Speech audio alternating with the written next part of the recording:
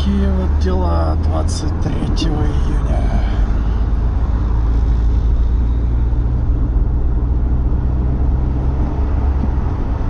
двадцатого года вечером 18.53.